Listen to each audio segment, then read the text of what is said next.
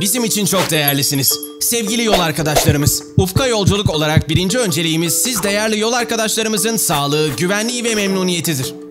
Tüm dünyayı etkisi altına alan salgında ülkemizde ilk vakanın görüldüğü günden itibaren gelişmeleri yakından takip ettik ve muhtemel senaryoları değerlendirmeye aldık.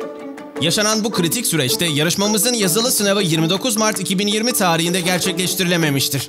Sosyal hayatı derinden etkileyen salgına karşı mücadele ve tedbirler her alanda devam etmektedir.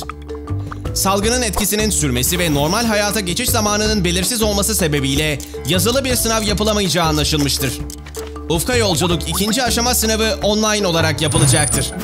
Sınav 21 Haziran 2020 Pazar günü 08.20 saatleri arasında gerçekleştirilecektir.